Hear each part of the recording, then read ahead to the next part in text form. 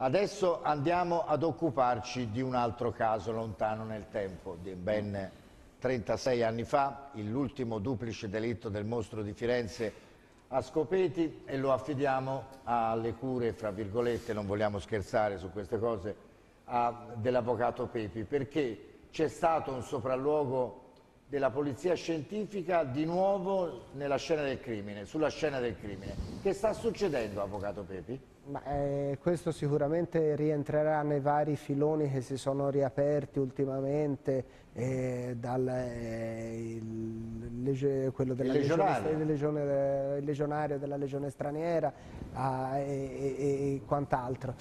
È chiaro che un sopralluogo agli scopeti dopo tutti questi anni, tra l'altro se non vado errato oh, eh, ci, ci, fu anche un, un incendio che bruciò eh, la siepe eh, dove si, è, si, sarebbe nascosto il Lotti. Il Lotti insieme all'altro di, di, di, In un San posto Casciano. aperto così, all'aperto e a distanza di così tanto tempo, eh, con tutte le contaminazioni che potremmo aver fatto anche eh, quando siamo andati a fare delle de, dei sopralluoghi diciamo, postumi per le trasmissioni televisive per cui eh, io li credo... fatti anche noi in sì, diretta eh, notte certo. addirittura sì, sì, la tenda eh? sì sì eh, mi ricordo oh, con mio padre siamo andati proprio per, per, per Giallo Toscana ormai vari anni fa eh, però io credo che, che, prove a questo punto sarà molto difficile trovare anche semplici indizi però mh, ovviamente sono atti dovuti probabilmente per cui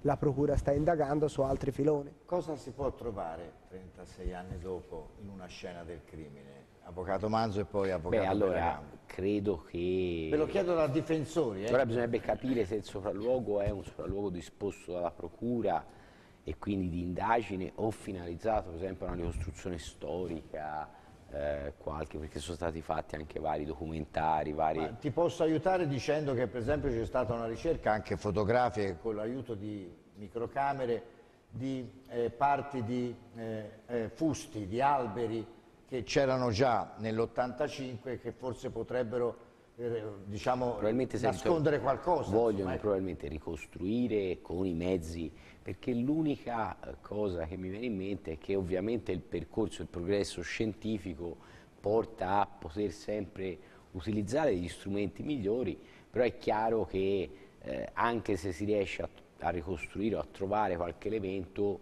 io la vedo un po' come il collega Pepi, cioè sono passati troppi anni e ormai non è più nemmeno il luogo di una volta e non credo ci sia nulla che possa aiutare le indagini. Ecco, ma la domanda tecnica, banalissima per voi uomini di legge, è parlando di nuove eh, tecniche, ma non, è, non, sarebbe tanto semplice andare a, a, cercare, come si era detto qualche anno fa, e lo, poi lo chiederò anche a Pepi, il DNA che magari potrebbe essere ancora presente su qualche eh, reperto di quei tempi e confrontarlo con coloro che sono stati accusati o di questi duplici delitti, mi viene in mente Pietro Pacciani e Mario Vanni? Eh, non so se ci sono disponibili questi reperti. Ma fu detto fare... che venivano e poi non se ne è parlato più. Sentiamo cosa ci dice, che ci dice allora, I confronti con i DNA del, de, diciamo, quelli che sono stati ritenuti i colpevoli, i, i, compagni di merenda e anche Paciani, ormai avrebbe anche poco senso perché sono sostanzialmente tutti morti.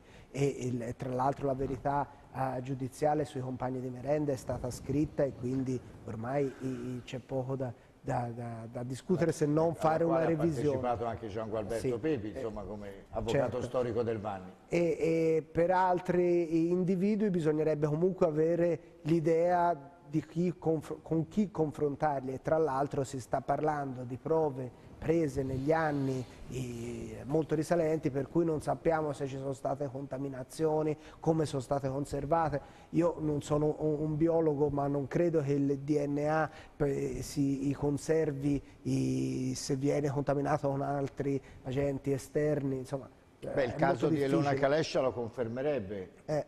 Con la saponificazione eccetera sarebbero perse eventuali tracce, tracce della donna sulle maniglie dei trolli.